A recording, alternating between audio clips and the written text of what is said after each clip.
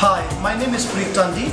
Uh, I'm going to show you today one of my dish, a tomato ceviche. Let's come in the kitchen. Let's do it together. Here we need heritage tomatoes.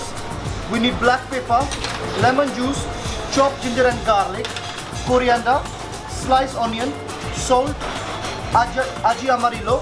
Aji amarillo is the ingredients from Peru, which is a yellow chili paste, which you can get it from the supermarket. Then you need a soya sauce, and I add for the citrus a yuzu juice as well. So now we start to make a tomato ceviche. We start with slicing the tomato first. Which one?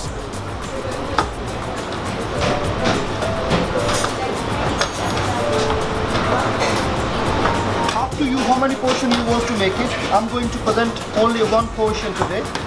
So I take some chopped chopped coriander, slice onion, Then we take half teaspoon of salt, black pepper, lemon juice, one, two, three, four.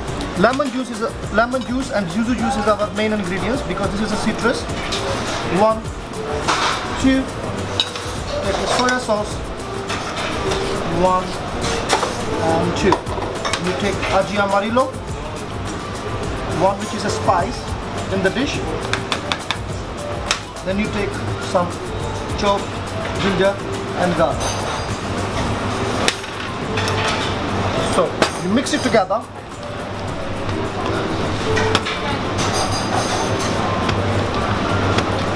Now we will present on the plate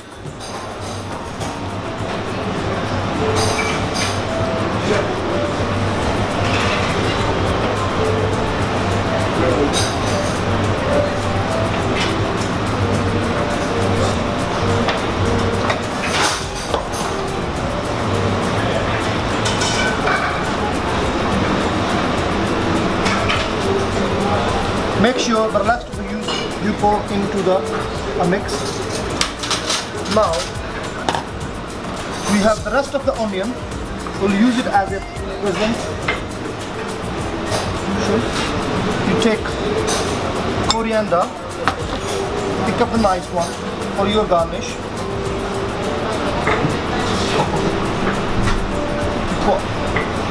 Coriander on top.